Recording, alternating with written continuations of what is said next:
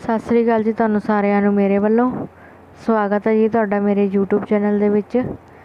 ਤੇ ਅੱਜ ਹੈਗਾ ਜੀ ਦਿਨ ਸੋਮਵਾਰ, ਤਰੀਕ ਹੈਗੀ ਹੈ ਜੀ 2 ਸਤੰਬਰ। ਤੇ ਆ ਦੇਖੋ ਜੀ, ਸਵੇਰ ਦੇ 9:30 ਵਜੇ ਨੇ ਤੇ ਇੱਧਰ ਮੈਂ ਸਾਰੇ ਕੱਪੜੇ ਕੁਪੜੇ ਧੋ ਚੁੱਕੀ ਆ ਕੱਪੜੇ ਵੀ ਧੋ ਲਏ ਨੇ, ਸਫ਼ਾਈ ਵੀ ਕਰ ਲਈ ਹੈ। ਸਵੇਰੇ ਪਹਿਲਾਂ ਫਿਰ ਮੈਂ ਚਾਹ ਚੂ ਪੀ ਕੇ ਨਾ ਯੁਵਰਾਜ ਨੂੰ ਸਕੂਲ ਭੇਜ ਕੇ ਮੈਂ ਕੱਪੜਿਆਂ ਦਾ ਹੀ ਕੰਮ ਸ਼ੁਰੂ ਕਰਤਾ ਸੀ ਪਹਿਲਾਂ।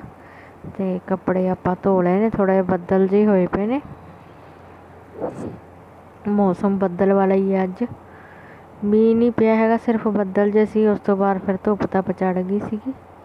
ਹਵਾ ਹਵਾ ਚੱਲੀ ਆ ਰਹੀ ਆ ਦੇਖੋ ਜੀ ਝੰਡਾ ਖਿਲਦਾ ਪਿਆ ਕਿੰਨਾ। ਤੇ ਪੌੜੀਆਂ ਦੇ ਕੋਲ ਦੇਖੋ ਜੀ ਉੱਪਰ ਕਬੂਤਰ ਬੈਠਾ ਹੋਇਆ ਹੈ।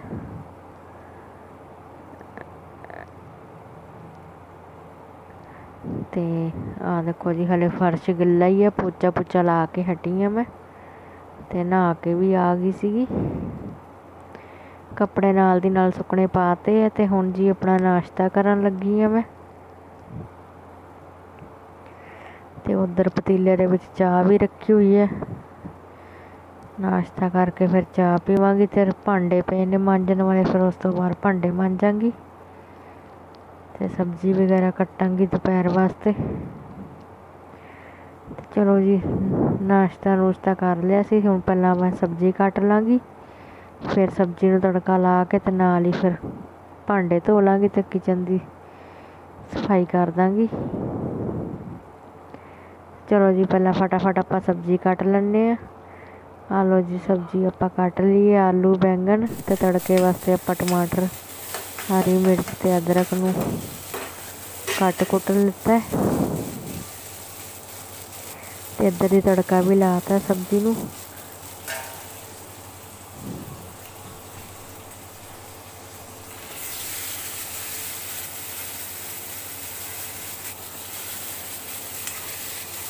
ਤੇ ਲੋ ਜੀ ਆਪਾਂ ਸਬਜ਼ੀ ਵੀ ਪਾਤੀ ਹੈ ਕੜਾਈ ਦੇ ਵਿੱਚ। ਤੇ ਇਹਨੂੰ ਚੰਗੀ ਤਰ੍ਹਾਂ ਮਿਕਸ ਕਰ ਲਾਂਗੇ ਨਾਲ ਦੀ ਨਾਲ ਹੀ।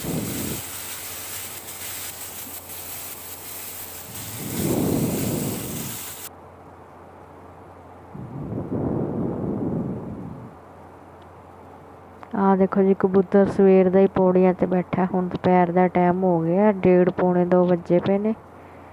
ਮਿੰਟ ਬਾਅਦ ਆ ਕੇ ਬਸ ਪੌੜੀਆਂ ਤੇ ਬੈਠੀ ਆ ਰਿਹਾ ਕਬੂਤਰ ਇਹ। ਪਤਾ ਨਹੀਂ ਕੁਛ ਲੱਭਦਾ ਪਿਆ ਕੀ ਚੱਕਰ ਹੈ, ਕੀ ਨਹੀਂ। ਇੱਧਰ ਉੱਧਰ ਦੇਖੀ ਜਾ ਰਿਹਾ, ਦੇਖੋ। ਸੋਚਾਂ 'ਚ ਪਿਆ ਹੋਇਆ ਵੀ ਕਿੱਧਰ ਨੂੰ ਜਾਵਾਂ।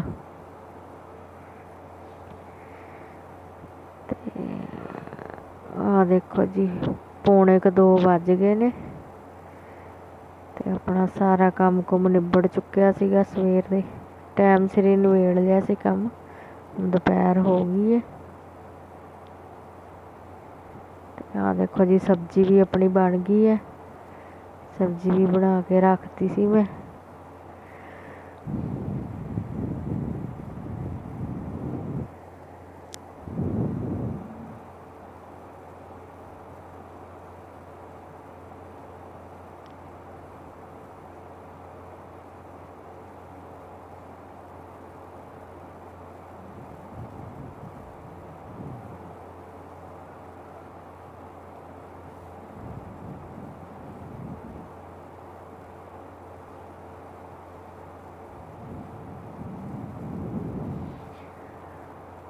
ਤੇ ਹੁਣ ਜੀ ਆਪਣਾ ਦੁਪਹਿਰ ਦਾ ਲੰਚ ਵੀ ਤਿਆਰ ਹੋ ਗਿਆ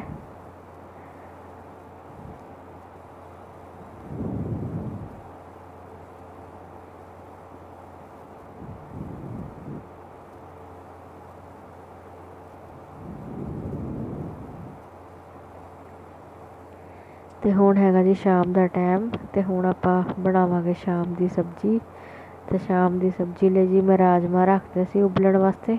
ਤੇ ਹੁਣ ਆਪਾਂ ਮਸਾਲਾ ਪੀਸ ਲਿਆ ਇਹਦੇ 'ਚ, ਚੋਪਰ ਦੇ ਵਿੱਚ।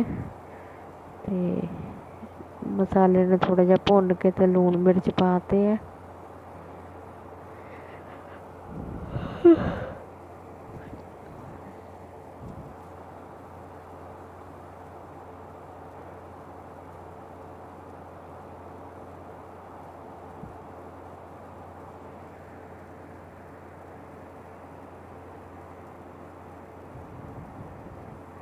ਅਤੇ ਹੁਣ ਜੀ ਪਾਤੇ ਆਪਾਂ ਟਮਾਟਰ।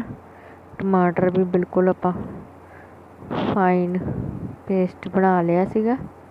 ਤੇ ਹੱਥ ਵਾਲੀ ਜਿਹੜੀ ਚੋਪਰ ਜੀ ਹੈਗੀ ਹੈ ਨਾ, ਹੱਥ ਵਾਲੀ ਜਿਹੜੀ ਮਸ਼ੀਨ ਜੀ ਹੈ, ਇਹਦੇ ਨਾਲ ਵੀ ਵਧੀਆ ਹੋ ਜਾਂਦਾ ਮਸਾਲਾ। ਜਿੰਨਾ ਮਰਜ਼ੀ ਆਪਾਂ ਬਰੀਕ ਕਰੀਏ ਜਾਂ ਮੋਟਾ ਮੋਟਾ ਰੱਖੀਏ। ਤਾਂ ਲੋ ਜੀ, ਆਪਣੇ ਰਾਜਮਾ ਚੌਲ ਬਣ ਕੇ ਤਿਆਰ ਨੇ।